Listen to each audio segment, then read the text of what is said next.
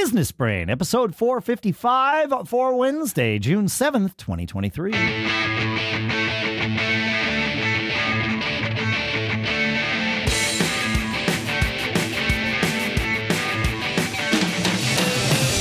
Greetings, folks, and welcome to Business Brain, the show where we take different things in our lives, our businesses, our personal lives, and we run them through the business brain filter, easy for me to say, so that we get a different perspective, a better perspective, a more valuable perspective on these things. And the path is it helps us keep living that charmed life. Sponsors for this episode include checkr.com slash businessbrain. That's C-H-E-C-K-R dot com slash businessbrain, where you can save 40 bucks off your first background check and Notion projects, a new thing from Notion. You can try it for free today at notion.com slash businessbrain. We'll talk more in depth about each of those shortly. For now, here in Durham, New Hampshire, I'm Dave Hamilton. And in Lafayette, California, I am Shannon Jean. How are you, man? Yeah, I'm good. You know, just like it's rock and roll, and it's it's always Yeah. weird having. I, I I liked the long weekend. I didn't like the short work week last week. And Yeah, yeah, yeah, that's all. So That's I- true. you know. it's, uh, Yeah, it's tough. Yeah, I, I was gone for a few days working on a property that we have, and I feel I love unplugging and going, but Right. coming back, you're just like, oh wow, I've got to you pay for it. got to deal with this, and yeah, you you pay for it no matter That's how, how it many. Uh, yeah, but It's the charmed all life, good. though. Like we get to do It these is, things. it It's is. fine. Yeah. it's it's fine. Yep. yeah, the flexibility is amazing. Oh, Um, agreed. there is no there is no freedom as we've talked about but the flex is is uh, incredible priceless and a huge part of the charmed life that you always mention I yeah, absolutely. That's so, good. uh, Good.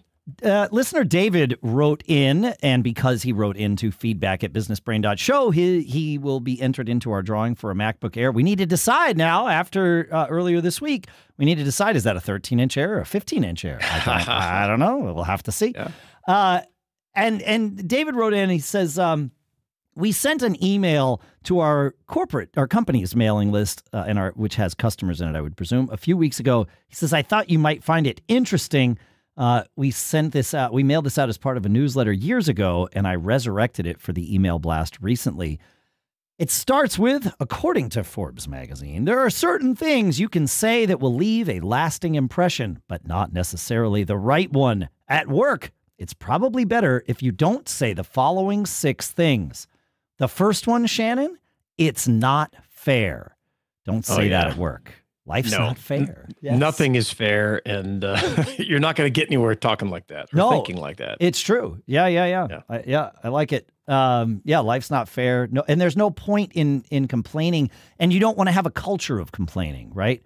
It, he, Yes. the one thing he says is, if necessary, document and prove your point. Just don't complain for the sake of complaining, which I I, I like that. That's uh, I, you know, that's good. The second one, that's not my problem. Uh, it, it's similar to the the commentary with "It's not fair."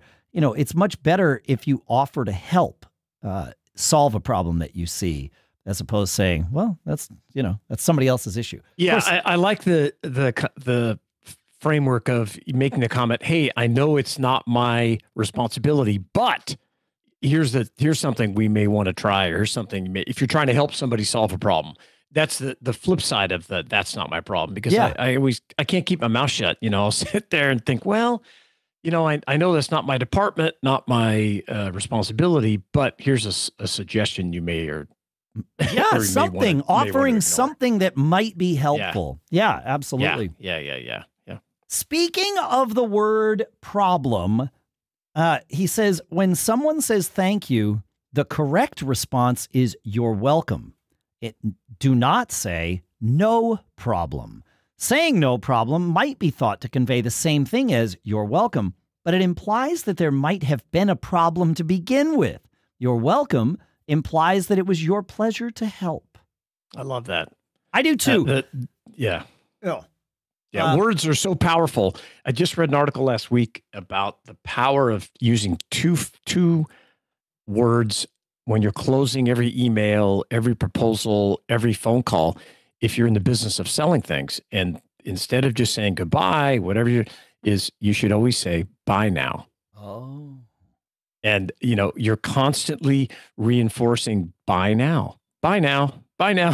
and I was like, oh, that's pretty tricky. I like that. Oh yeah, I like constantly. this. Every email, your signature, buy now. Here's the, you know, whatever. Not you're not pitching it. It's just buy now, buy now. And and over and over and over again, it just becomes in your vocabulary, and people constantly hear that, and that it, you know, Huh. that changes behavior. It Yeah. does. That's interesting. The one I I I agree with this 100% uh, saying no problem in in place of your welcome can impl- offer implications you did not intend. However, the phrase you're welcome especially with with a lot of Gen Z folks has been replaced at least in part with of course. Say oh thank you so much and they say of course. Uh, Yes, and I yeah. and and I like that too. It it says the same thing. Like, oh, of course it's it, you know, I I was happy to help you. It it communicates the same you're welcome message, but it is part of that group of vernacular. And so Yeah, I find myself I find myself adopting that depending on who I'm talking with and and whether which I think will land better. You're you're welcome versus of course, right? Like you know, if I- Yeah. so I, I share that it, it is it, it- reading the room is is a good thing, and I I do try to um, mimic the language of people that I'm uh, that I'm immersed with too. A- a- Yeah. to a degree. Yeah. And I, and I like that. Of course, is good. I, and it, now that you bring it up, I hear my my kids using that quite Mhm. frequently. Uh, Well, they're Gen. Zers, And yes. There you go. But one of the things that I like added to that is a phrase that reinforces the fact that you did something for someone, but also builds some future, a bridge towards uh, uh, the future, and that is saying something like, "Oh, of course," and adding, "I know you will do the same for me." Oh yes. Because you're you that's why you're doing it you have this connection it's all about reciprocity Yes. and you're you're trying to add value to the relationship but but it's just a a good little reminder it's like oh of course i i know you will not you would oh, I know you will- interesting. i know you will do the same for me because you know someday you may need them to do the same for you whether it's That's a little aggressive. I, I would not say will. I would say would yeah. in those scenarios. I, I, I, I- Yeah. because will implies like will is a command, right? Whereas would is yeah, a well, you say it sentiment. softly i mean yeah yeah, yeah, but it, it's a command versus a sentiment. I, you know, but I mean, I, like, I, I, I'm not saying if you choose to say will instead of would Yeah. that that's wrong. I'm saying I, I will Sure. use the phrase would to deliver it a little more softly. Yeah, any any grammar AI will change that and say, uh, "Don't use a passive voice." Yes. Oh, I know. yeah, yeah. It, it- but it, would- it's very calculated. Uh, there are. I got it. Yeah, Yeah. Yeah. Yeah. It's interesting though. I yeah. It is. I'm gonna think about this now. I like this. Feedback at businessbrain.show if you're uh, thinking about this too. This is a great email, David. Thank you for sending it to us. it is. Uh, the uh, to to to bring this home, the last three start with the one phrase you uh, it's better not to say at work is I'll try. And the reason Mm, is if you yeah. if you ask someone if they can have something ready by noon, you don't want to hear I'll try. That implies they may fail. You want to hear I will. That small change speaks volumes. Yeah. Yeah. It's the it's sure, the man. it's the Yoda, right? I mean, always think of Yoda. Do or do not. There is no try. You're not. Yeah. Yeah. If you need more time, that you need to have that Ask discussion for right more now. time. It's like, okay, I can get it to you, but I I think I'll well, I will need till one p.m. or whatever. Yes. Uh, yes. you can't get it done. Being just as confident with needing more time than than hitting the you know the the deadline, I think is it's good. Yeah. 'Cause yeah. You yeah. want to communicate mentioned that- confidence. That's what Yes. we're talking about here. I think I mentioned that last week when I always would ask, how much time do you need to get it done? Let them tell you. Yeah. It works out better than you setting the deadline. My favorite one on this list is number five, Shannon. The phrase not to say, but we've always done it this way. If somebody says that to me, I am now hell bent on changing it. Like I like Right. like like to my own detriment. I like I just don't that is not a reason to keep doing things. It's it's a No, reason that the flag. It's a red flag. It is a reason that the human mind likes that. We like patterns. Patterns become our shortcuts. right? We do all our our brains do all kinds of things where it it like it always does it this way and it will continue doing it this way unless we change. And that way we're not thinking about these things all the time. But saying we've always done it this way, no, no, that's not an excuse. Yeah. That is an observation. We've always correct. done it that way. That's correct. Let, let's talk about whether or not it's worth changing. Yeah, doesn't make it right. Doesn't make it right. It makes it it makes the statement correct, perhaps. You know, we've always done it this way. And the answer is probably no. We've done it this way for the last 5 years, but before that we did it a different way, you know. It's it's the yeah. but the the my management counter to that is let's try something new for 2 weeks. Right? You know, using the 2 yeah, week experiment. Like yep. Yep. So yep. And the last one on this list, Shannon, that's impossible. And someone says that's impossible. Oh yeah, yeah, I don't. I think the the the the way the response to that is like, well, what if it were possible? How would we? How would it be implemented? How would we do it uh, to get that uh, mindset thinking uh, and changing the whole frame of the discussion? To you know, if you had every resource at your fingertips, if you had all the experience and education you needed, how do we make it possible? All right. So, look, here on Business Brain, we know that project management tools are supposed to help us move faster and stay organized. But if you're still jumping between 50 different tabs just to do your job, then maybe you haven't found the right tool yet. But we have. That's where Notion comes in. Notion allows you to pull everything together into one place tracking tasks, deadlines, managing sprints, organizing launches. And today I'm excited to share that they just launched Notion Projects, which includes new, powerful ways to manage projects and leverage the power of their built in AI features too. Notion Projects combines project management with your docs your knowledge base, and AI so you can stop jumping between tools and stop paying too much for them too.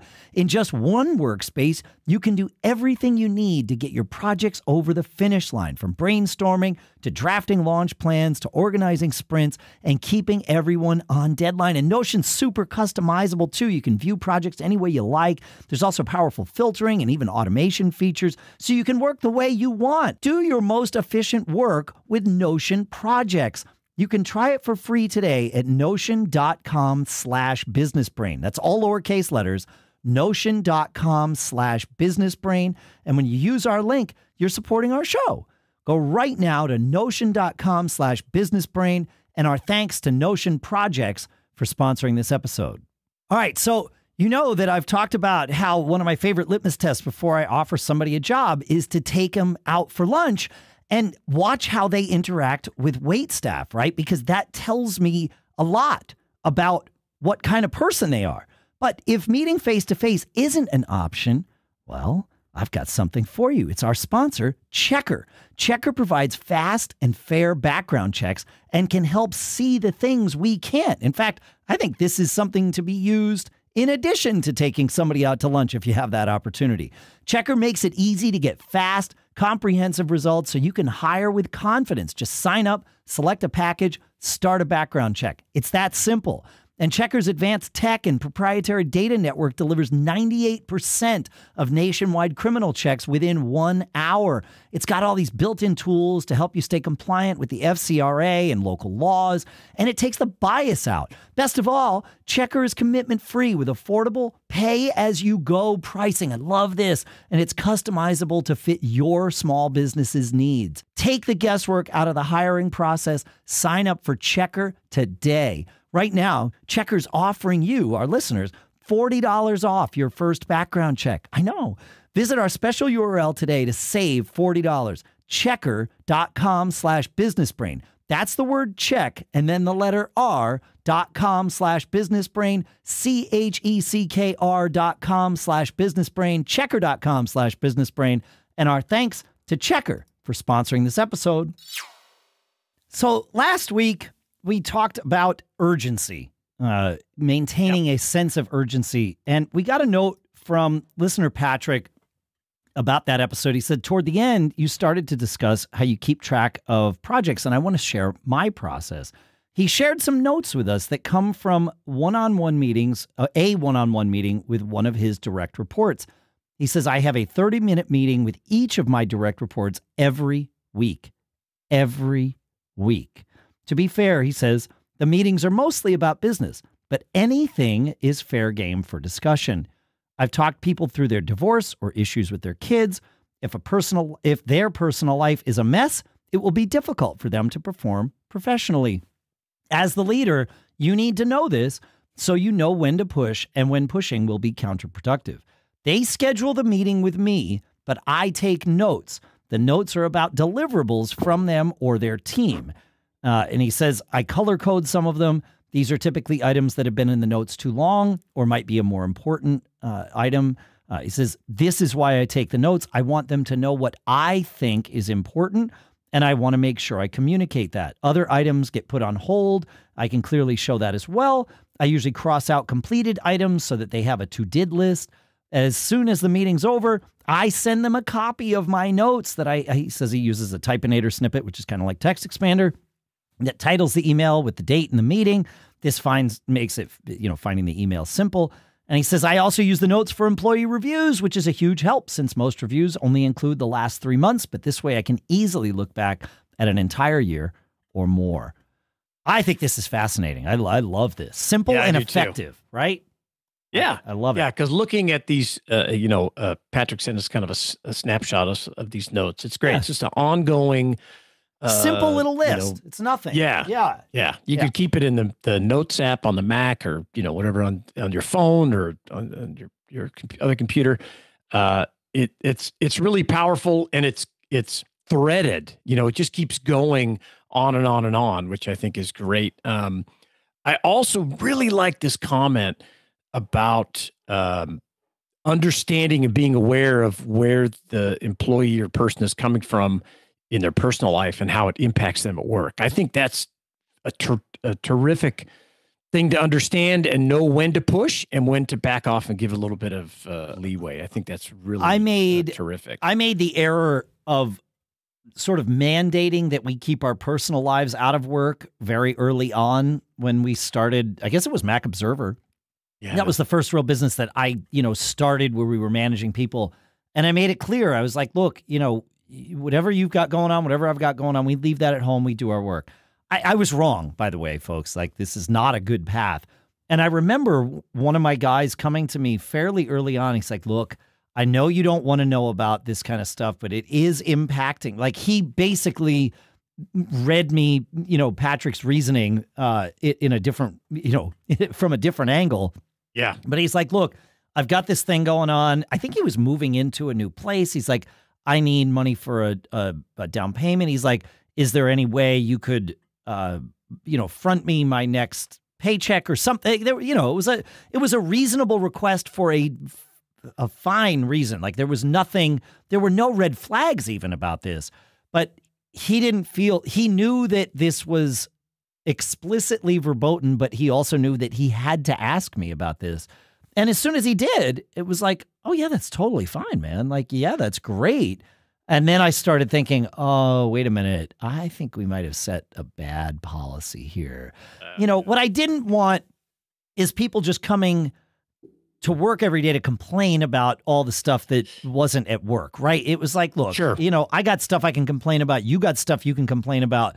It, let's just get the work done. Y- you know, that was I, that was it would my be great. It would be great if you could. if yeah, but that's that not how way, but humans no, work, right? not. Like that's It's- that's it's not. It's just yeah, it's just not how it works. So Yeah. I I learned that lesson. Thankfully, uh, very quickly and pretty much head on. It it didn't take very long for me to realize, oh, okay, wait a minute, and then and then I remember like a year later, I had to tell him, no, no, no, you changed my mind on this. Like it's okay, we can talk about this stuff. It's fine.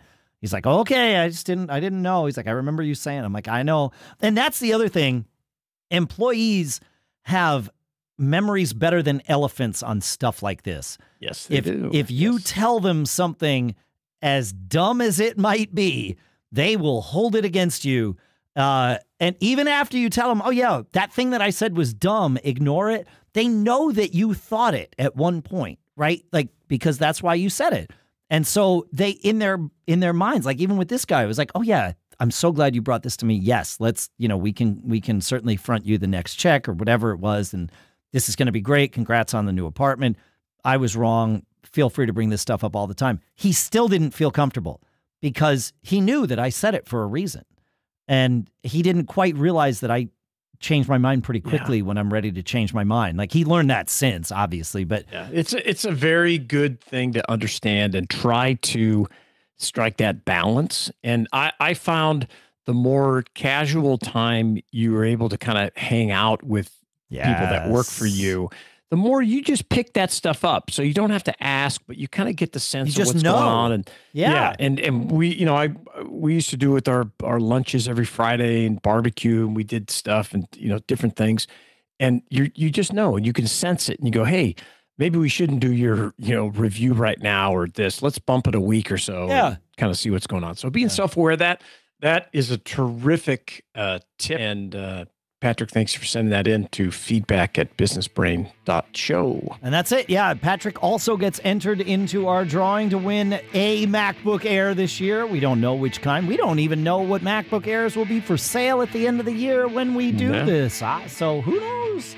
We might talk about some other things Apple announced this week in our Casual Friday show. So make sure to listen for that. Stay subscribed. We really appreciate it. That helps you keep living that charmed life. We'll see you next time.